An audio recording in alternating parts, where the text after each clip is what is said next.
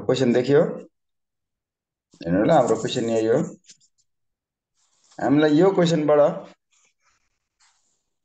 Rate sensitive asset दिएको छ rate not non rate sensitive asset दिएको छ नन अर्निङ एसेट दिएको छ रेट सेन्सिटिभ लाइबिलिटिज पनि दिएको छ नन रेट सेन्सिटिभ लाइबिलिटिज दिएको छ इक्विटी दिएको छ यो क्वेसनको सुरुमा calculate the dollar gap A नम्बरको वानमा डलर ग्याप सोधेको छ हाम्रो डलर ग्याप भन्नु डलर ग्याप भन्नु तपाईँको ग्याप भन्नु एउटै हो है डलर ग्याप भन्नु ग्याप भन्नु मेचुरिटी ग्याप भन्नु एउटै हो भनेर मैले भनेको छु। अब यहाँनिर ग्याप निकाल्ने हाम्रो फर्मुला के हो? आरएसए माइनस आरएसएल हुन्छ। Rate sensitive assets minus rate sensitive liabilities हुन्छ। रेट सेन्सिटिभ एसेट्स कति छ? दुई हजार माइनस रेट सेन्सिटिभ लाइबिलिटिज तिन हजार। भनेपछि हाम्रो ग्याप कति आउँछ अब? दुई हजार माइनस तिन हजार गर्दाखेरि माइनस एक हजार। हाम्रो ग्याप नेगेटिभ आयो। ग्याप नेगेटिभ हुनुको अर्थ यो ब्याङ्कमा रेट सेन्सिटिभ एसेट्स भन्दा रेट सेन्सिटिभ लाइबिलिटिज बढिरहेछ एक हजारले बढिरहेछ। अब बी नम्बरमा हामीलाई सोधेको छ what is the relative gap relative gap कति छ भनेर सोधेको छ। रिलेटिभ ग्याप रेसियो भनेको। Relative gap ratio relative gap रेसियोको formula हुन्छ gap divided by total assets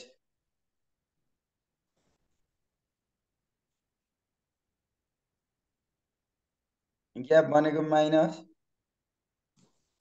एक हजार डिभाइडेड बाई टोटल एसेट्स भनेको कति छ हेर्नु त? सात हजार। एक हजार डिभाइडेड सात हजार गर्नु कति आउँछ? डिभाइड गर्नु त्यसलाई minus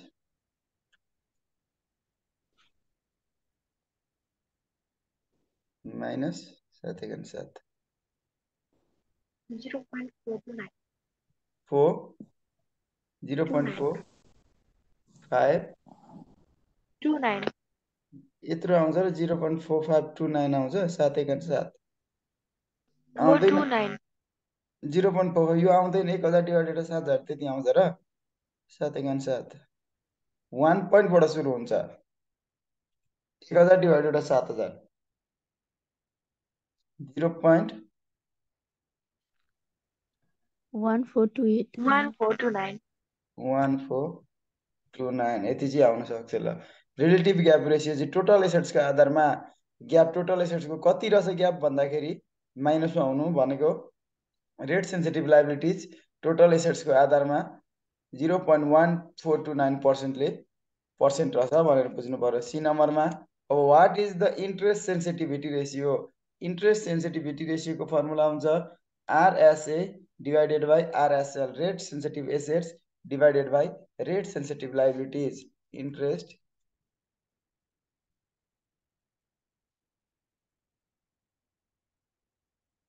ratio is equals to RSA divided by RSL interest sensitivity ratio sensitivity रेसियोले के देखाउँछ भन्दा इन्ट्रेस्ट चेन्ज हुँदाखेरि इन्ट्रेस्ट रेट चेन्ज हुँदाखेरि बढी चेन्ज केमा आउँछ त? रेट सेन्सिटिभ एसेटमा आउँछ कि रेट सेन्सिटिभ लाइबिलिटिजमा आउँछ त? दुई हजार डिभाइडेड बाई तिन हजार। गर्नु कति आउँछ? Zero point six six six seven zero point six seven लेखिदिएँ ल मैले राउन्डिङ गरेर। जिरो पोइन्ट सिक्स सेभेन अब डी नम्बरमा सोधेको छ। यो एबिसिडी भन्दा पनि एकै गर्दै रहेछौँ हामी। यसलाई एबिसिडी नलेखौँ अब एकै phone number net interest income net interest income net interest income is equals to total interest income minus total interest expenses total interest income हेर्नु ल टोटल इन्ट्रेस्ट इन्कम कति हुन्छ? भन्दा टोटल इन्ट्रेस्ट इन्कम भनेको माथि क्वेसनमा हेर्नु त इन्कम गराउने भनेको इन्ट्रेस्ट इन्कम भनेको एसेट साइडबाट हुन्छ इन्ट्रेस्ट एक्सपेन्सेस भनेको लाइबिलिटी साइडबाट हुन्छ। त्यसो भए एसेट साइडमा ब्याज कमाउने कति हुन्छ? बाह्र पर्सेन्ट अफ दुई हजार प्लस एघार पर्सेन्ट अफ चार हजार। बाह्र पर्सेन्ट अफ दुई हजार दुई हजार प्लस एघार पर्सेन्ट अफ चार हजार। Minus rate sensitive sorry total interest एक्सपेन्सेसमा अब इन्ट्रेस्ट खर्च हुने भनेको लाइब्रेरी साइडमा आउँछ लाइब्रेरी साइडमा छ पर्सेन्ट अफ तिन हजार प्लस पाँच पर्सेन्ट अफ तिन हजार। छ पर्सेन्ट अफ तिन हजार प्लस पाँच पर्सेन्ट अफ तिन हजार। यो कति आउँछ भन्नु त? यो अगाडिको यो। बाह्र पर्सेन्ट अफ दुई हजार प्लस एघार पर्सेन्ट अफ चार हजार गर्दा चार सय चालिस। प्लस बाह्र दिन छ सय। असी। माइनस अर्को कति आयो? अठार तिस तिन सय। चार चार सय असी हो। छ तिन अठार। पाँच तिन पन्ध्र। तिन सय तिस कति आयो टोटल इन्ट्रेस्ट एक्सपेन्सेस तिस तिन सय तिन सय तिस तिस गर्दाखेरि असी असी माइनस तिन सय तिस गर्दाखेरि कति आउँछ तिन सय पचास तिन सय पचास मिलियन यसको नेट इन्ट्रेस्ट इन्कम चाहिँ तिन सय पचास मिलियन रहेछ अब यसको डीमा एको डीमा सोधेको छ नेट इन्ट्रेस्ट मार्जिन एनआइएम सोधेको छ नेट इन्ट्रेस्ट मार्जिन नेट मैले net interest margin is equals to net interest margin निकाल्ने फर्मुला हाम्रो के छ भन्दा net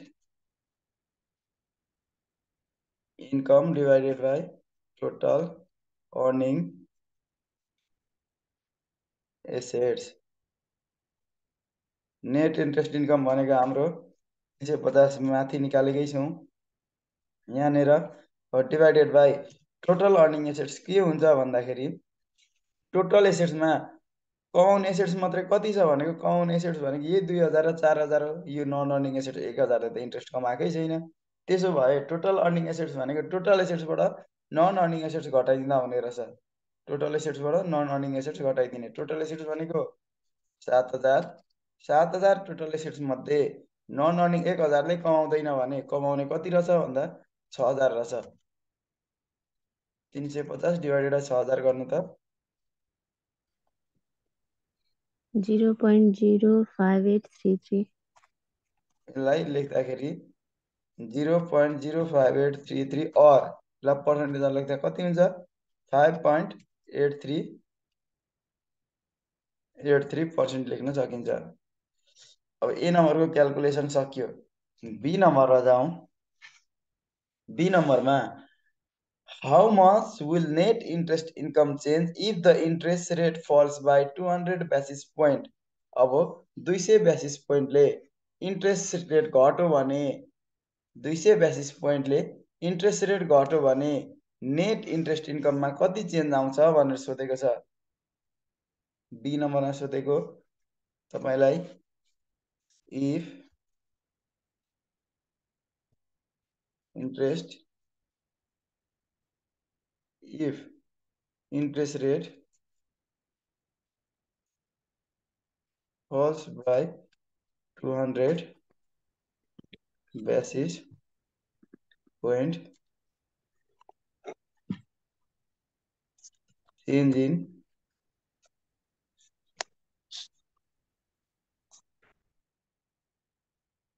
change in net interest income is equals to हामीलाई नेट इन्ट्रेस्ट इन्कममा कति चेन्ज आउँछ यदि interest rate two hundred basis पोइन्टले घट्यो भने भनेर सोधेको छ। अब change in interest rate is equals to minus two percent two hundred basis point भनेको माइनस टू पर्सेन्ट हो। फल्स भनेको छ। फल्स भनेको घट्नु हो। त्यही भएर माइनस लेख्यौँ। टु हन्ड्रेड बेसिस पोइन्ट भनेको टु पर्सेन्ट हो हन्ड्रेड बेसिस पोइन्टको वान पर्सेन्ट हुन्छ भने टु हन्ड्रेड बेसिस पोइन्टको टु पर्सेन्ट हुन्छ। यदि इन्ट्रेस्ट रेट दुई पर्सेन्टले घट्यो भने अथवा टु हन्ड्रेड बेसिस पोइन्टले घट्यो भने ब्याङ्कको नेट इन्ट्रेस्ट इन्कममा कस्तो चेन्ज आउँछ भनेर सोधेको छ। त्यसो भए हामीले यो निकाल्नु के थाहा छ भन्दा ग्याप थाहा छ। ग्याप इक्वल्स टु ग्यापको फर्मुला अर्को पनि हामीले लेखेको छौँ। के लेखेको छौँ? Change in net interest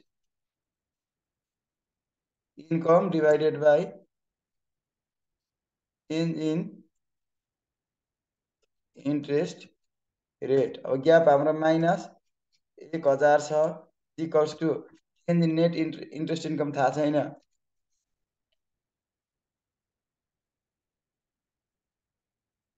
Divided by change in interest rate interest rate कतिले चेन्ज हुँदैछ? Minus minus zero point zero two यसलाई डेसिमलमा लाँदाखेरि टू पर्सेन्ट भनेको जिरो पोइन्ट जिरो टू अथवा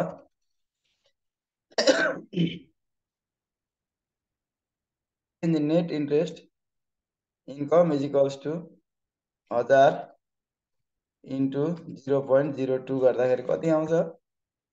बिस million. Twenty million. Twenty million. हामीलाई के थाहा भयो यदि इन्ट्रेस्ट रेट दुई पर्सेन्टले घट्छ यदि इन्ट्रेस्ट रेट दुई पर्सेन्टले घट्छ भने, यो ब्याङ्कको नेट इन्ट्रेस्ट इन्कम कतिले बढ्दो रहेछ? ट्वेन्टी मिलियनले बढ्दो रहेछ। For net interest income of bank will increase by twenty million if interest rate falls by 200 basis. Basis point. अब अर्को क्वेसनमा जाउँ सी नम्बरमा how much will net interest income change if interest rate increase by three hundred basis point यस्तै question सोधेको छ अब interest rate घट्नुको साटो बढो भने नेट इन्ट्रेस्ट इन्कम कतिले चेन्ज हुन्छ भनेर सोधेको सी नम्बरमा। If interest rate increases by three hundred basis point point change in net income change in net interest income is equals to what हामीले निकाल्नु पर्नेछ अब हामीलाई के थाहा छ change in interest rate interest rate कतिले चेन्ज हुँदैछ three hundred basis point or यसलाई थ्री पर्सेन्ट लेख्न सक्थ्यो तिन पर्सेन्टले इन्ट्रेस्ट रेट बढ्दैछ भने नेट इन्ट्रेस्ट इन्कममा कति चेन्ज आउँछ भनेर क्वेसनले सोधेको यहाँ तपाईँले यहाँ पनि ग्यापकै फर्मुला लगाएर निकाल्नुहुन्छ। अब हामीलाई के थाहा छ? Gap equals to change in NII divided by change in interest change in interest rate gap भनेको हाम्रो कति छ? माइनस एक हजार छ। Is equals to change in NII थाहा छैन divided by change in interest rate भनेको कति छ थ्री पर्सेन्ट भनेको जिरो पोइन्ट जिरो थ्री अब change in in NII is equals to minus thirty million अब हाम्रो माइनसमा आउनु भनेको यदि इन्ट्रेस्ट रेट थ्री पर्सेन्टले बढ्यो भने यदि इन्ट्रेस्ट रेट थ्री पर्सेन्टले बढ्यो भने यो ब्याङ्कको यो ब्याङ्कको नेट इन्ट्रेस्ट इन्कम कतिले तिस मिलियनले घट्दो रहेछ। If interest rate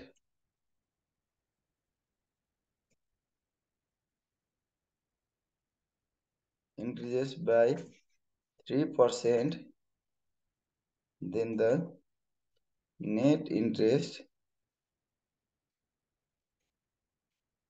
income of bank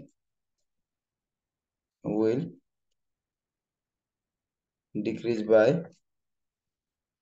thirty million thirty million यहाँसम्म कसैलाई सोध्नुपर्ने केही छ?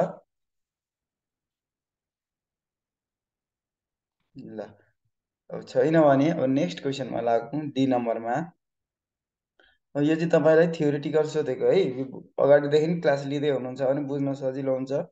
अब what changes in portfolio composition would you recommend to management if you expect the interest rate to increase अब तपाईँलाई के लाग्यो अरे?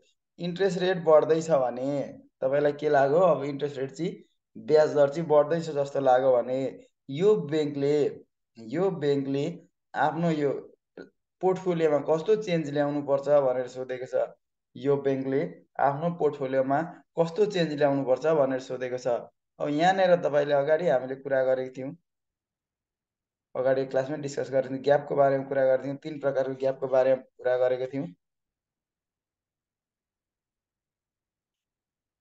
यहाँ हेर्नु ल। ग्याप।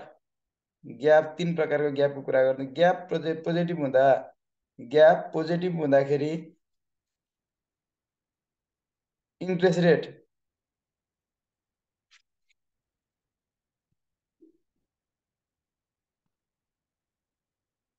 इन्ट्रेस्ट रेट बढ्छ भने ग्याप पोजिटिभ हुँदा इन्ट्रेस्ट रेट बढ्छ भने ब्याङ्कको प्रफिट के हुन्छ?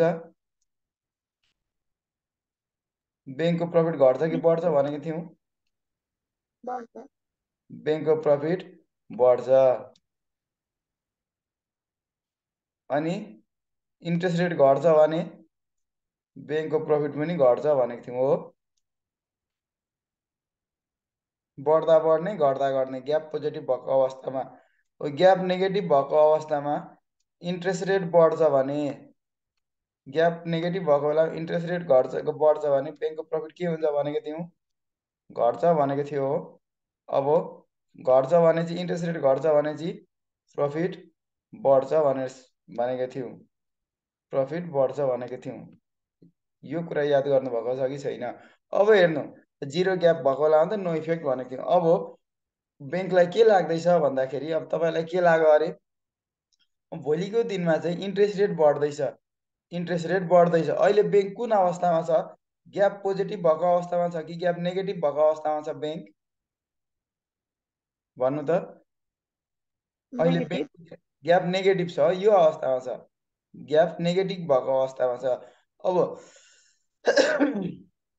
ग्याप नेगेटिभ भएको अवस्थामा इन्ट्रेस्ट रेट बढ्यो भने त ब्याक ग्याप नेगेटिभ भएको अवस्थामा इन्ट्रेस्ट रेट बढ्यो भने त ब्याङ्कको प्रफिट के हुने रहेछ? घट्ने रहेछ। हो नि? यहाँ हामीले हिसाब गरेर पनि देखाएको छौँ। अघि हिसाब गर्दा पनि हाम्रो यही आएको छ। ग्याप नेगेटिभ भएको बेलामा यहाँ हेर्नु त इन्ट्रेस्ट रेट बढ्दाखेरि इन्ट्रेस्ट रेट यहाँनिर यहाँ इन्ट्रेस्ट रेट बढ्दाखेरि नेट इन्ट्रेस्ट इन्कम घटेको छ कि बढेको छ? ब्याङ्कको प्रफिट हो। घटेको छ कि बढेको छ? घटेको छ नि। हामीलाई के थाहा भयो भन्दाखेरि अब ग्याप नेगेटिभ भएको बेलामा चाहिँ ब्याङ्कको इन्ट्रेस्ट रेट बढ्यो भने इन्ट्रेस्ट रेट बढ्यो भने ब्याङ्कको प्रफिट घट्ने रहेछ। ब्याङ्कले त आफूलाई घाटा हुने काम कहिले पनि गर्दैन। अब उसलाई थाहा भइसक्यो इन्ट्रेस्ट रेट बढ्छ भन्ने उसलाई थाहा भइसक्यो इन्ट्रेस्ट रेटलाई त उसले कन्ट्रोल गर्न सक्दैन। ब्याज दरलाई ब्याङ्कले कन्ट्रोल गर्न सक्दैन। अब ब्याज दर बढ्दै गर्दाखेरि त उसलाई घाटा हुने रहेछ भन्ने उसले थाहा भइसक्यो। अब उसले यो घाटाबाट बच्नको लागि चाहिँ ऊ इन्ट्रेस्ट रेट बढ्दा पनि उसले फाइदा कमाउनको लागि चाहिँ के गर्नुपर्छ उसको पोर्टफोलियोमा के चेन्ज ल्याउनु पर्छ आफ्नो ब्यालेन्स सिटमा के चेन्ज ल्याउनु पर्छ भनेर क्वेसनले सोधेको हो। अब हेर्नु इन्ट्रेस्ट रेट बढ्दाखेरि ब्याङ्कको फाइदा पनि बढ्ने अवस्था भनेको इन्ट्रेस्ट रेट बढ्दाखेरि ब्याङ्कको फाइदा पनि बढ्ने अवस्था भनेको ग्याप पोजिटिभ हुँदाखेरि कि नेगेटिभ हुँदाखेरि हो? ग्याप पोजिटिभ भयो भने त यदि ब्याङ्कले आफ्नो ग्यापलाई पोजिटिभ बनाउन सक्यो भने त इन्ट्रेस्ट रेट बढ्दाखेरि उसको प्रफिट पनि बढ्ने रहेछ हो। बुझ्नुभयो कि भएन? बुझिँदैछ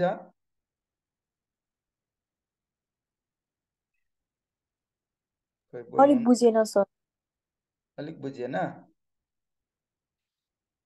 ल पक्नु ल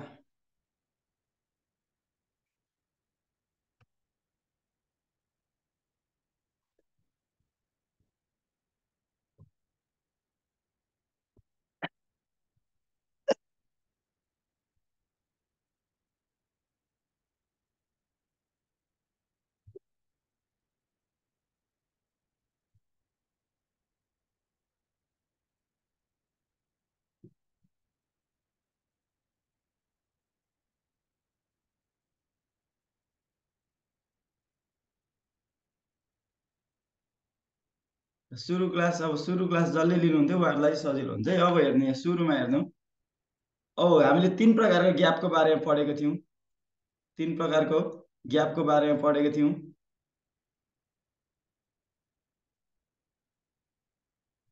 ग्याप यहाँनिर इन्ट्रेस्ट यहाँनिर प्रफिट। यस्तो टेबल सम्झिनु तपाईँले। ग्याप पोजिटिभ भएको बेलामा एउटा पोजिटिभ ग्यापको कुरा गरेको थियौँ। अर्को नेगेटिभ ग्यापको कुरा गरेको थियौँ। अर्को जिरो ग्यापको कुरा गरेको थियौँ। तिन प्रकारको ग्यापको बारेमा कुरा गरेको थियौँ।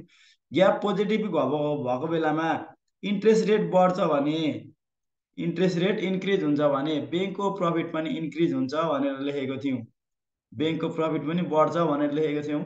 यदि इन्ट्रेस्ट रेट घट्छ भने डिक्रिज हुन्छ भने ब्याङ्कको प्रफिट पनि डिक्रिज हुन्छ भनेर लेखेको थियौँ। ग्याप नेगेटिभ भएको अवस्थामा यदि इन्ट्रेस्ट रेट इन्क्रिज हुन्छ भने ब्याङ्कको प्रफिट डिक्रिज हुन्छ। अनि इन्ट्रेस्ट रेट डिक्रिज हुन्छ भने ब्याङ्कको प्रफिट इन्क्रिज हुन्छ भनेर पढेको थियौँ। अब यहाँनिर ग्याप जिरो भएको बेलामा यो बढ्दाखेरि पनि घट्दाखेरि पनि प्रफिटमा नो चेन्ज भनेर लेखेको थियौँ। यो टेबल तपाईँलाई याद छ कि छैन? मैले फर्मुला डिस्कस गर्दैखेरि भनेको टेबल हो। यो टेबल याद छ कि छैन? याद छ यो टेबल? छ सर ल यो टेबल याद छ भने अब हेर्नु ल। यो क्वेसनमा अहिले ब्याङ्कको कुन अवस्थामा छ? ग्याप पोजिटिभ भएको अवस्थामा छ कि ग्याप नेगेटिभ भएको अवस्थामा छ ब्याङ्क? नेगेटिभ। नेगेटिभ भएको अवस्थामा भनेपछि यो अवस्थामा छ ब्याङ्क अहिले। ग्याप नेगेटिभ भएको अवस्थामा छ। अब तपाईँलाई के लाग्यो भोलिको दिनमा इन्ट्रेस्ट रेट इन्क्रिज हुँदैछ ब्याज दर बढ्दैछ ग्याप नेगेटिभ भएको बेलामा इन्ट्रेस्ट रेट बढ्दैछ भने यो अवस्थामै इन्ट्रेस्ट रेट बढ्दैछ भने ब्याङ्कको प्रफिट त के हुने रहेछ? घट्ने। घट्ने रहेछ। अब ब्याङ्कलाई थाहा भइसक्यो ब्याज दर बढ्दैछ। ब्याज दर बढ्यो भने त मेरो प्रफिट घट्ने रहेछ भन्ने उसलाई थाहा भइसक्यो। अब उसले आफ्नो थाहा पाउँदा थाहा पाउँदै पनि आफ्नो प्रफिटलाई उसले घट्ने काम गर्दैन। अब उसले के गर्न सक्छ भन्दाखेरि यो इन्ट्रेस्ट रेटलाई त उसले कन्ट्रोल गर्न सक्दैन। कुनै पनि ब्याङ्कले ब्याज दरलाई नियन्त्रण गर्न सक्दैन। ब्याज दर भनेको ब्याङ्कको हातमा हुँदैन। राष्ट्र ब्याङ्कको हातमा हुन्छ। अब उसले अब इन्ट्रेस्ट रेट बढ्दाखेरि पनि इन्ट्रेस्ट रेट बढ्दाखेरि पनि उता के कमाउन खोज्छ? फाइदैलाई बढाउन खोज्छ।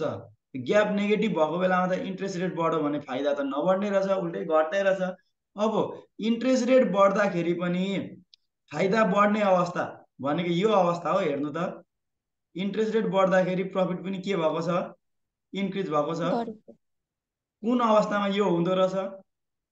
पोजिटिभ भएको अवस्थामा हो। ग्याप पोजिटिभ भएको अवस्था भनेको कुन अवस्थामा ग्याप पोजिटिभ हुन्छ भन्दाखेरि ग्याप ग्याप पोजिटिभ हुने अवस्था भनेको आरएसए आरएसए भन्दा धेरै भयो भने आरएसए भन्दा धेरै भयो भने ग्याप पोजिटिभ आउने रहेछ हो। अब यो ब्याङ्कले अब यो ब्याङ्कलाई के थाहा भयो भन्दाखेरि उसले ग्याप पोजिटिभ बनाउनु पर्ने रहेछ। यदि मार्केट इन्ट्रेस्ट रेट बढ्दैछ भने यदि इन्ट्रेस्ट रेट बढ्दैछ भने उसले आफ्नो ग्याप नेगेटिभबाट ग्याप पोजिटिभ बनाउनु पर्ने रहेछ। ग्याप नेगेटिभबाट ग्याप पोजिटिभ बनाउनको लागि ब्याङ्कले चाहिँ के गर्नु पर्यो त अब?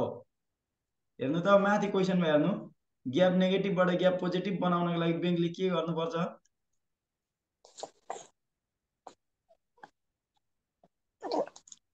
अब हेर्नु। उसको ग्याप नेगेटिभबाट पोजिटिभ बनाउनको लागि त पोजिटिभ ग्याप बनाउनको लागि त हेर्नु त आरएसए चाहिँ आरएसए भन्दा आरएसएल भन्दा बढी हुनु पर्दो रहेछ। यहाँ त ब्याङ्कको त आरएसए कम्ती छ। आरएसएल भन्दा आरएसए कम्ती छ तिन हजारभन्दा दुई हजार कम्ती हो। यो भने ग्याप नेगेटिभ भएको अवस्था हो। अब यो ग्यापलाई चाहिँ पोजिटिभ बनाउनको लागि कि त उसले आरएसएलाई बढाउनु पर्यो कि त रेट सेन्सिटिभ एसेट्स बढाउनु पर्यो कि त रेट सेन्सिटिभ लाइबिलिटिज घटाउनु पर्यो। यो दुइटामा एउटा काम गर्नु पर्यो। कि त रेट सेन्सिटिभ एसेट्स बढाउनु पर्यो कि त रेट सेन्सिटिभ लाइबिलिटीलाई घटाउनु पर्यो? यदि यसो गर्यो भने ब्याङ्कको ग्याप पोजिटिभ हुन्छ ब्याङ्कको ग्याप पोजिटिभ भएको अवस्थामा इन्ट्रेस्ट रेट बढ्दैछ भने उसको प्रफिट पनि के हुने रहेछ? बढ्ने। यो कुरालाई लेख्नुपर्ने हो।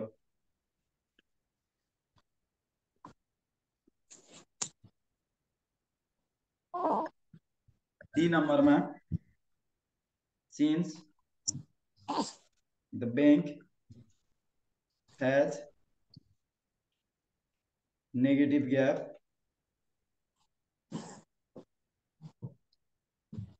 If the bank ex expect that the interest rate will increase, then the bank should make its gap positive either by increasing RSA or by decreasing RSL यति लेखिदिँदा हुन्छ ल। Since the bank has negative gap ब्याङ्कको gap negative छ। If the bank expect that the interest rate will increase ब्याङ्कलाई यदि interest rate बढ्दैछ जस्तो लाग्यो भने ब्याङ्कले के गर्नुपर्छ? उसको आरएसएलाई उसको उसले हाम्रो ग्यापलाई नेगेटिभबाट पोजिटिभ बनाउनु पर्छ नेगेटिभबाट पोजिटिभ ग्याप बनाउनको लागि ब्याङ्कले के गर्नु पर्यो कि त आरएसए बढाउनु पर्यो कि त आरएसएल घटाउनु पर्यो यति कुरा लेख्ने हो। अब जसले क्लास अगाडि सुरुबाटै लिँदै हुनुहुन्छ यो च्याप्टरको फर्स्ट क्लासै लिनुभयो उहाँहरूको लागि केही सजिलो होला बुझ्नको लागि। जसले चाहिँ बिचबाट लिनुभएको छ बिचबाट लिनुभएको छ भने first class formula discussion class हेर्नु होला। अनि अझै बुझ्न सजिलो हुन्छ।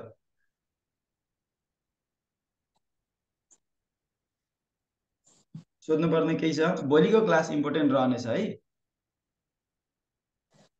भोलिको क्लास एकदमै इम्पोर्टेन्ट क्लास हुनेछ यो च्याप्टर सकिने क्लास पनि हो भोलि हाम्रो।